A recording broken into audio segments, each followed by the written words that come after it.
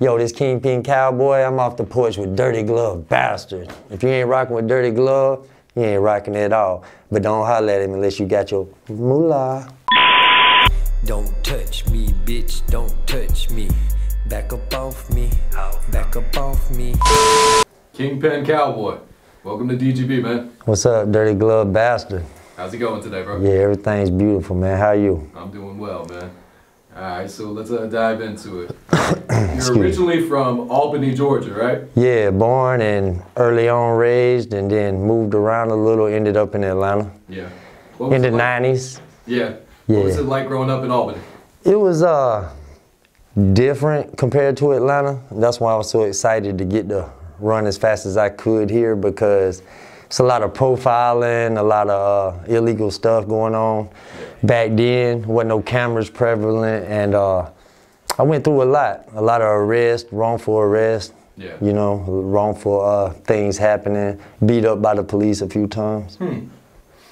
Yeah. Yeah, uh, went to jail quite a few times, which I'm not romanticizing or, or trying to glamorize, but uh, that's another reason I'm rapping now, trying to get my story out to show the uh, show the rappers and the artists coming up that are under me younger Yeah. that there's two sides of it. It ain't all about the glitz and glamour. It's a lot of downfalls of the game. And if you choose to glamorize that, you gotta be ready for both sides Yeah. After being locked up over like 30 times, I learned my lessons and was like, wow. And it'll hit you hard. And you ain't got necessarily be in the wrong to end up in that situation either. You can just make one wrong move or end up in the wrong view of the wrong officer or whatnot. Next thing you know, you might be getting beat up, searched, locked up, some some some stuff planted on you. You never know. So it was rough down there. Uh, I'd say it's more divided than it is in Atlanta, but back then things were more divided anyway Yeah. than they are these days, you know. Yeah. And me being in the hood always, it threw a mark on my back and had people uh, in law enforcement, you know, thinking it was all about drugs or this and that when it was actually we just shoot hoops, me and the homies, you know. You might get a bag and roll a L, you know, Tampa Nugget or something, you know, them days. But uh, yeah, it was just basically a lot of a lot, lot of targeting, you know, going on in the community, in the black community. And there's always been a lot of racial profiling. It's sad to see, and it actually turned me against at some point. I was kind of like racist against my own skin color. It was weird. Like I got divided amongst all the shit going on with me, the way I was being treated just for being with black people. It made me feel like, damn, if they treat me like this, I know they really hate these people that are my friends and family. So it made me pissed off to the point where I became racist against my own people for a while. Now I see it through different eyes though. And I know, you know, you make mistakes as you walk in life and you got to answer and look in the mirror to everything you do. Yeah. You know what I'm saying? Yeah. All right. So when at, at what age did you move to Atlanta? Uh, the first time I was like 17, Okay. 16. Yeah. Well, the first time I came was with a homie of mine. I wasn't but 13, and it's a long story, but we ended up up here for a minute. You know, I kind of ran away, was hanging with prostitutes, stuff like that. I ended up going back home because, you know, I was young. I didn't know how to survive like that. I made it happen a little. Then I'd be like, oh, I got to throw in the towel. I got to go back home. You know what I'm saying? This is too much. Like, I'm too deep right now. And then I end up back home, go to school for a minute, quit again. You know, the same old cycle I was going through. My dad was, uh, he was uh, he was a good man. He tried hard, did his best, but he was alcoholic, gambler, chasing hoes and dope, you know, and running dope. My uncles and them. So I kind of grew up around a lot of weird shit. You know what I'm saying? Street shit, not weird shit, street shit. Yeah. You know, criminal activity, and. Uh, I saw my uncle and them making so much money, bro. It just infatuated me with the whole game to the point to where I was like, damn, I want to be like my uncle. You know what I'm saying? And then the GBI raided him, took his house, his land, and they auctioned it off. My granddad was standing there with his hat in his hand and bid on it and got it back. Then when he died, he left it to my dad. My dad sold it and he moved to Atlanta too, because I was already up here with a with a bit with a girl from Capitol Homes I was going with. You know, uh, a lot of people probably don't know about Capitol Home, but long story short, he blew all the money gambling on the Georgia lottery, literally, and alcohol Oh wow. from from that whole. And it kind of hurt me bad because I saw my uncle go through so much to get the money to buy that, and then lose it to the GBI seizure, and then my granddad come up there at auction and bid and get it back, and then die and leave it to him and him to blow it on gambling. So I had some anger toward my dad, but we were tight always, you know. Yeah. And uh, when I moved up here, let's see, first I went to Newnan, Georgia. I don't know if y'all know where that is, but I got a bunch of cell cases on crack, shit like that down there. And uh, when I got out from that, it was just on from then. It was just no turning back. I was just like back to back, locked up, street life, locked up, locked up, street life. It was just a whirlwind. And, and before you know it, time passes, man. Yeah.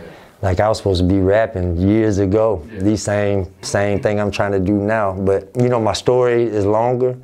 It's kind of painful, but it's longer and stronger, and my consistency is tighter now. And uh, the foundation is more solid, but it's in a rough way, you know. Yeah. But the message is stronger Yeah. to teach people, you know, the rights and wrongs and what to and not to do. Yeah. So when did you first start taking an interest in making music?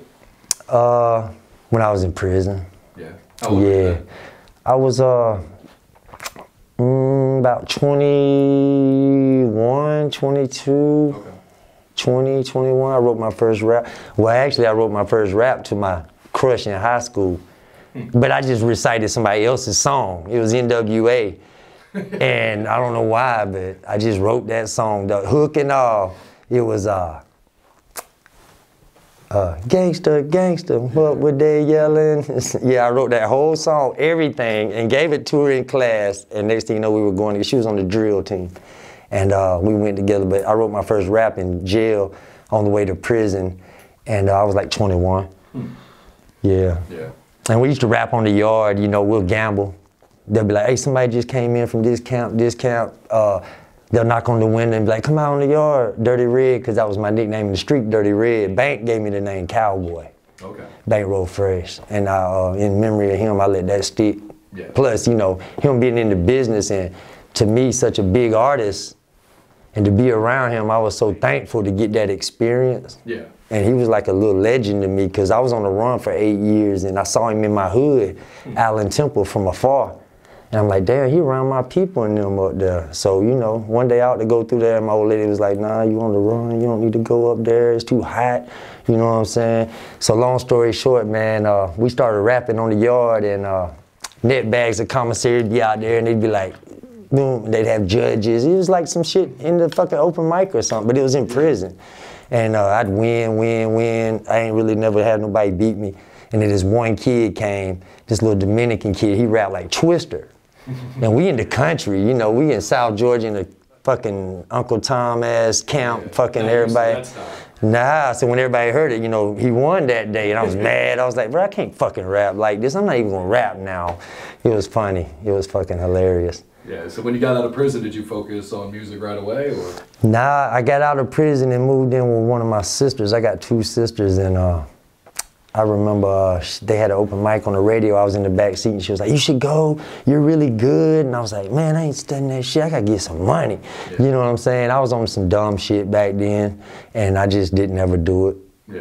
And I had like seven, eight hundred songs, wrote hooks and all. Oh wow. From And I, prison? yeah, from prison. I do a song a day. I had the same seat at the same table. And every day I'd go to that table and write. And everybody in my dormitory knew. There was like, I think 80 people in our dorm. They knew, they, that's my spot. You know what. I'm saying? I'd be ready to ride about my spot. Know, we ain't no chairs, no dice, or I mean, no checkers, cards, nothing. I want my spot. You know what I'm saying?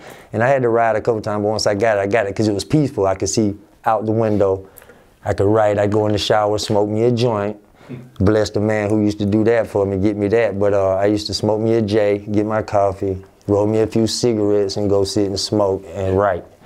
So yeah, I wrote a lot in prison, man. It was like, uh, I think it's a breeding ground for pain and to see the other side, you know, of what you did wrong too. Not just, you know, because it ain't always what they did to you. A lot of times, what you do to you is what makes it uh, your music and your life. But a lot of people try to put the blame on him and him and him. I blame myself for anything I did because if I didn't get up and walk out the door that morning, it wouldn't have happened. Even if they were in the wrong, I still had to be there, you know.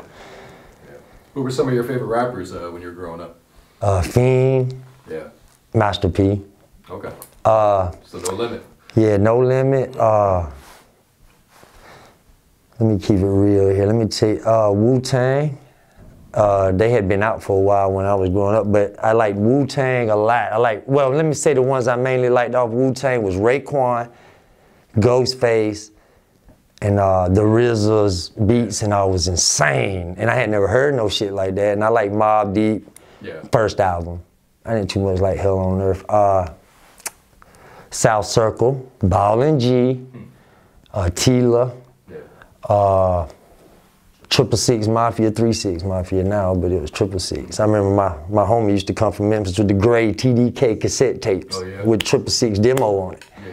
Before they ever dropped all that shit, and the hook would be like five fucking minutes long, bro. but it was hard as fuck. We ain't never heard no twisted up shit like that. It was dark, you know what I'm saying? And we liked it, so yeah. That was some of the rap, all the southern, you know, Outkast, of course. Shout out to uh, Goodie Mob and Outkast, because that was some conscious shit I had never heard. So, you know, all that era, man, was a lot of stuff that can't be overturned no more. Like, Yeah. they there's some artists coming along that can be on the same level, but to me, they'll never be topped again. You know what I'm saying? Because they were the first to do it. They pioneered it. Yeah. And to me, like Master P pioneered trap rap to me, but that's another subject. I don't want to get on that. Him and his whole No Limit artist Yeah. roster. And that's why I reached out to work with uh, Fiend first Yeah. when I came home and uh, I got serious about the music. Around time Bank died, I was like, oh shit, these folks dying out here around me. Yeah. About the music, I gotta be more serious. So yeah. Okay, so when did you first start releasing music? I started releasing music in 2016 Okay. when uh, Bankroll Fresh died, and I had been blessed to be around him. And uh, Street Money Left Hand was uh, somebody was on the little roster of Street Money with Bank, and uh, he gave me that name. He had started taking to me a little bit, you know, but we didn't get a long time to get to know each other. My, uh, what do you call it when you don't like to be around a lot of people? What's that word? You want to be solo a lot. Yeah. That among me, I was out on bond at the time. When I came home, I was on the run eight years, and I started releasing music right after Bank died.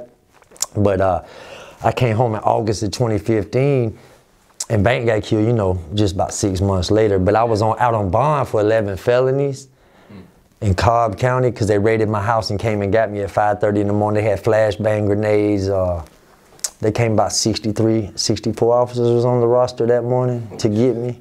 The ski mask and infrared. My 10 year old daughter was there. They threw flashbangs through a window. Oh, wow. And a, a, a, a, a, a addict set me up that I was trying to help actually get off drugs. And she set me up and played me. Yeah. But uh, I anyway, back to the story. You was asking me the music. Is why we're here. Uh, yeah, that shit, shit fucks with me when I start talking about it. Anyway, uh, because all that running together and then me getting out of all that and, and, and trying to do music at the same time, fighting them felonies, it was fucking with me. So I didn't release music officially till Bank died. And I was like, you know what? I don't need to run from this. I got a real story and I've been around some, and, and plus people lost their lives behind this. Somebody needs to step up and be serious. So when he died, I started pressing up Street Money shirts with my name on the back, Street Money on the front, big, helping promote. And I dropped, uh, hit Fiend up on the ground like, hey bro, I wanna do a feature with you. This is my story in small, short, you know, character.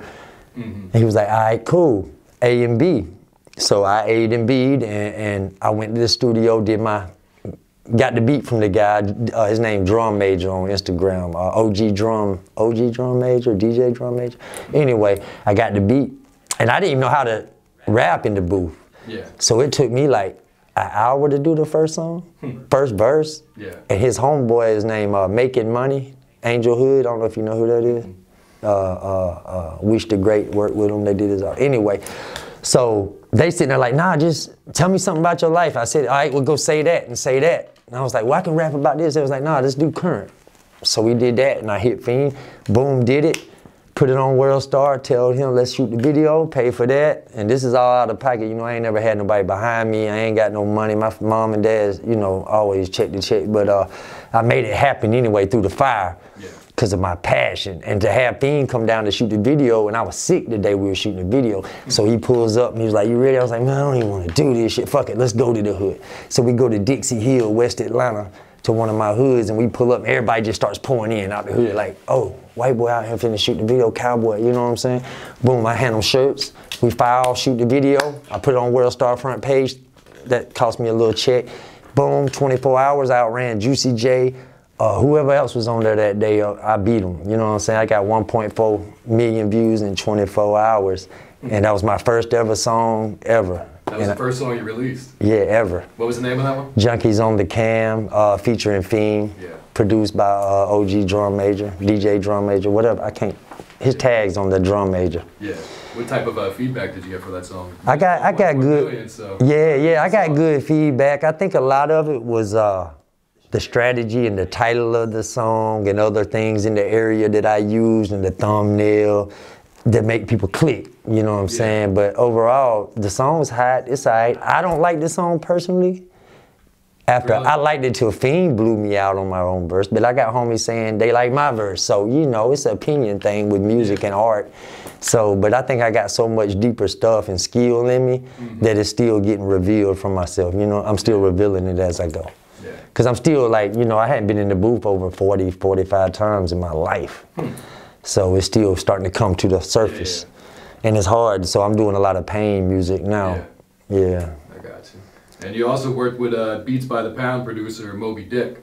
Yeah. What was that experience like? Man, Mo B. Dick, oh my God. Man, he is a true musician and a true good person, man. He is deep. I tell you, he told me my cadence was off. And I was sounding corny, and I was like thinking to myself, I got 1.4 me, the ego, you know, as an artist, because everybody's got their own ego. So I was like, what's he telling me? Woo, woo. And he was like, look, if you're gonna bring your ego in here, man, then I just give you your money back, dog. I want you to go outside, leave your ego, and come back and let's work. Cause I think you got it, and I know you got it, but you gotta listen to me. Yeah. Have you ever sold a hundred million records? And I was like, fuck nah. Matter of fact, you right, bro. And I'm humble, so I'm on the way out the door. I'll be right back. I went out, smoked me a cigarette, came back in. We meditated together under a pyramid, and uh, it was deep. And I learned a whole lot from that guy, man. My hat's off to that man forever. And we actually spend a lot of time together. Every time he's in town, we spend time Yeah. together. You know, he's like family. Me and him are family. Yeah. Yeah, his wife, his kids, they they real great people, man. Uh, it was real nice working with him. yeah. Was that your first time ever meditating? Uh, nah, man, I had to meditate a lot in prison. Okay, okay. Because, you know, I was in Jackson State. They had me locked down 20, 24 hours a day in, in uh, H House. I was right next to death row. I used to reach out and shake hands with people going to die soon. And they'd hand me cigarettes and all because they had, a lot had happened. I had gotten some trouble with some shanks and some people getting hurt real bad. And uh, they tried to put me in all that. So I ended up locked down next to death row for a while till they found out if I was going on trial for murder or not. Yeah. One was locked up. Yeah, it was fucked up. So I had to do a lot of meditating. It wasn't my first time Yeah, yeah. meditating.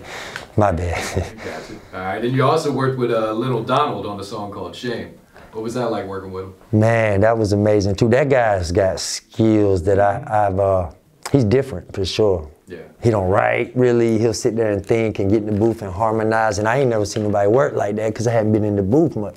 So seeing him work and put together this shit, I was like, damn, little homie got it. But I knew he had it when I reached out to him. I saw him on Instagram. I've never heard Juice and none of that because I'm still listening to what I like Yeah. and what I know. So when I heard it, I was like, let me reach out to Lil Donald. I reached out to him, he hit me back. Let's meet. Bring some music with you. You got some music? I was like, yeah. Because I don't work with just anybody. I want to hear your music. So we met at the cookout on Moreland Ave, man, and I played, brought my CD with some of my music half-ass finished, besides Junkies on the Cam at 80 Zips, and sat in the truck. He was like, damn, bro, you fucking hard, bro. I like that.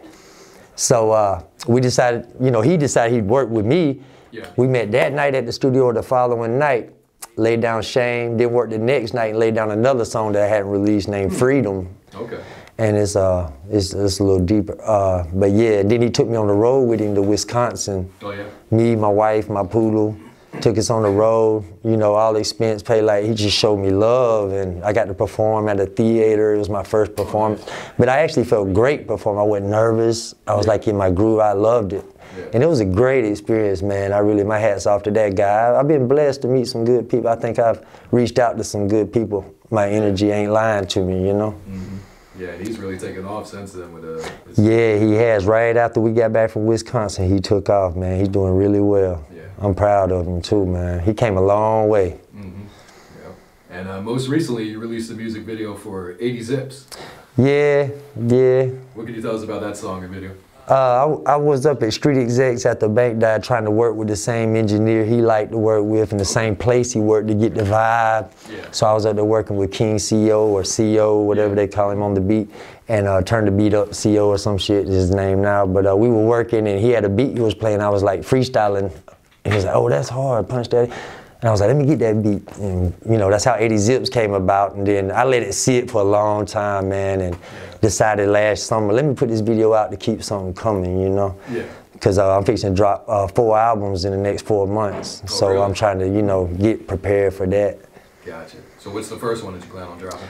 Uh, live real, die real. Okay. And it's kind of like, uh, the reason I say that, because I lost a few homies. Uh, Street Money Left Hand used to be with Bank. He got murdered last August, uh, right by Allen Temple, man. And uh, he used to be on me all the time, bro. He called me so much. Come on, bro, we got to hit the yo, bro. You got it, bro. Let's just go do this. Let's finish what we started, bro. And I fucked off so much thinking tomorrow's going to be here. Yeah. Tomorrow's going to be here. And you know what? I got that phone call at 1.30 in the morning, bro. And uh, they say he'd been shot in the head. I went to Grady and uh, uh, it, it went down like that. And after that, I decided, you know what, fuck that. I'm fixing to release these albums, live real, die real. And I said that in 80 Zips. That was one of my bars. Yeah. You know what I'm saying?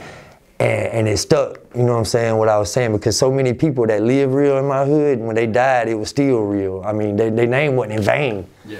You know what I'm saying? They they taught lessons to us and, and, and left inspiration for us, so it ain't in vain, you know? Yeah. So that's Live Real, Die Real. Another album name is, uh, uh, dang, I just, oh, Addicted to the Pain.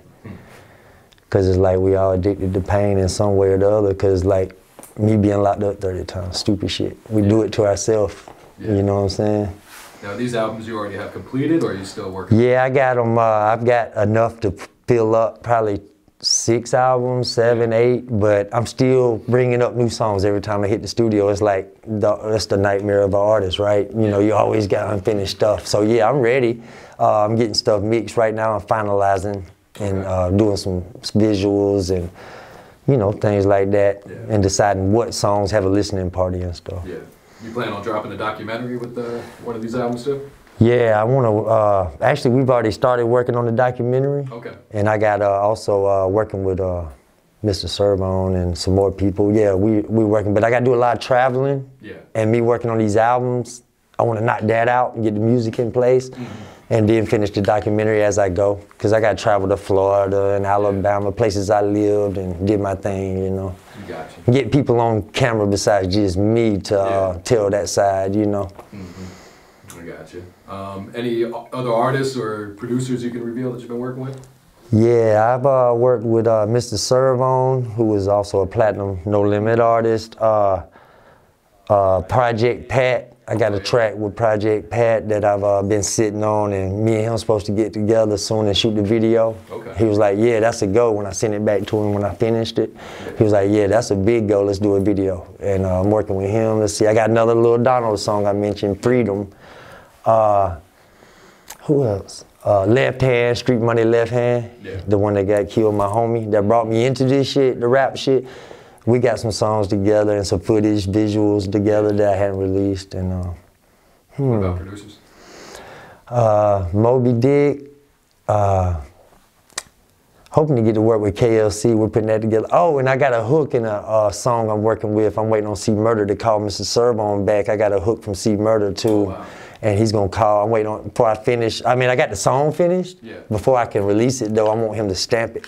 Yeah. He's gonna call home, but he's already heard about me and approved it. Oh, okay. But I, like I told my homie, I want to get his boy stamping that because I like to have that backup. You Yeah. Because you know how so many people do shit, take shit from other artists or Mm. Yeah. take words they've already used and insert them in a song without permission, and then then try to reach back if it blows and show love. That ain't how I get down. I show respect from the gate. Yeah. Yeah. So this is something he had uh, previously recorded? Uh, yeah, because he's in prison. He had previously recorded. Him and Serv-On was gonna drop it. But Okay. Serv-On was like, bro, you you you a real one, bro. I want you to do this. This is special. You special. You family to me. I want you to do it. You deserve it. And since you've been locked up so much, and he's been locked up so long, it only makes sense. And I was like, damn, I didn't even think of that. But thank you. Because a lot of guys wouldn't, you know, pass the light bulb to you like that, let you shine none. They want it all for themselves, and they don't show show love in return, you know. And, and that's one thing I always did, and I think it affected me in a in a good way. It hurt me some, but it also affected me to the point where sometimes you be blinded by your giveness, you know, your giving, and sometimes you gotta be smarter than that. But overall, I don't regret, you know, giving none. I give back a lot Yeah. over my years, you know. Yeah. So, uh, do you have a personal favorite song that, that we should be looking out for? Uh, I got this new song called Addicted to Pain. Okay. And I ain't never really worked with auto tune. I just laid it last night, and uh, it's gonna be real hard. And the visuals gonna be so crazy. All my visuals are about to be so crazy. Yeah. They're so creative. I create. I try to direct my own stuff, Oh yeah. and I'm. A, I create all my own songs. I write for myself, hooks. I pick my own beats. Yeah. And uh, I've always been, and everybody that works with me always told me, man, you pick some good ass beat. You got a good ear for it, you know. So I'm hoping that everybody likes everything I put out, but I know some things will touch certain people in better ways than others because of their experiences in life. Excuse me. But uh, yeah, that the addicted to pain. Uh, I got one, uh, fallen soldiers. Yeah. It, it touched me so much I was crying when I was trying to record it and I had to take a pause from the booth and leave and come back. But that's personal. Yeah. You know what I'm saying? That might not touch the next man like it, but I like all my songs though. Yeah. All right. So, uh, how would you describe your sound for people who haven't heard any of your music yet? Uh, reality rap, Yeah. reality rap. That's what I always say in my head. Uh, I got a deep voice, and I'm country sounding, you know, so it can have that country drag to it at times. But I can I can speed it up and down. But I guess my sound would be, I don't want to call it gangster rap, uh, cause that ain't what it is. Uh, just reality rap. Reality rap. Yeah, I try anything I rap on is something I've been through. I lived Yeah. it. I ain't gonna rap it, and that's one thing I, I suggest a lot of artists do, but everybody teach his own. I don't really know the next man and can't speak on him, but I, I, I really believe in an artist being true to what he been through and doing was really the basis on kind of like hip hop to me and rap to start with. All right. So, what else you got? What else should we be on the look for? Just these albums? Yeah, the albums, documentary, uh, visuals. Uh, you know, I just I want everybody to check in for me, man, cause I'm, I'm I'm from right here. You know what I'm saying? I'm from Albany, but I've been right here so many years since I was young. I'm from here, bro, and I I was here before the rap shit blew up in Atlanta, and and I went from homelessness, sleeping literally on the west end behind the mall. They had black benches, bro. And I'd go to Pittsburgh, Atlanta, and Miss Betty Crumbly, her son just got murdered. Me and him were real good friends, man. And uh, he was at the Shepherd Center. He got paralyzed and he died from complications. But when I first got out of prison on leg monitor, I was I was wild. So I cut my leg monitor off, went on the run. I, I left Allen Temple in Adamsville and went over to Pittsburgh because I knew the fugitive squad be looking for me. They let me sleep in their basement. They don't know me like that though. You know what I'm saying? But me and him met and got cool and he was like, man, you a good dude, bro. You don't deserve all this shit you going through, man. You just made some bad decisions. I'm gonna talk to my mama. They let me sleep some. Sometimes she'll trip. Cause I was still bad, you know what I'm saying? Running around with pistols on me, doing crazy shit. And, and I'd sleep in Pittman Park. Then I'd walk to the West End and, and try to get me some money. I wouldn't ask for a dollar. Never have I walked up to nobody asked. Can't nobody come on my comments or nothing and say, Cowboy asked for one dollar. Even when I was homeless, I slept in them abandoned cars, buildings, and I got this shit back on my own. You know what I'm saying? On my shoulders. And I went from homeless, prison, to damn near a kingpin. Yeah. And they raided me and took me back down to zero. I went back blank in 2015, reset, and God blessed me for a reason to be here. So I hope everybody check me just on the strength though. I came from the same spot where everybody trying to make it at. Yeah. And I came off my own back. I ain't burnt my face with nobody and I ain't snitched on nobody. And I kept it real to the code, to the core for all the ones that fell before me and, and that's gonna fall after me. You know what I'm saying? Mm-hmm. And I feel like that alone on the strength should let people maybe be interested in the real. You know what I'm saying? I got you. if they like to hear a real artist. Because I know if I ever make it to where some of these people at, I'm gonna show them how, what real change in the community is and Yeah. how to give back and bring your homies and people out and give back. You know what I'm saying? Not just give back to these jewelers and these raves. I still be in my old school caddy probably. You know what I'm saying? you know, if it happens. So, All right, that's good. All right. Anything else you want to add? uh, man, long live left hand, long live bank. Shout out to everybody out here, man, and I hope everybody, you know, I done whip 80 zips, fucked around, got 80 bricks, bust it down to all nicks, bust it down to all zips, bust it down to all splits. Yo, bitch on my balls and dick, tryna kick shit with a pimp. I don't do karate.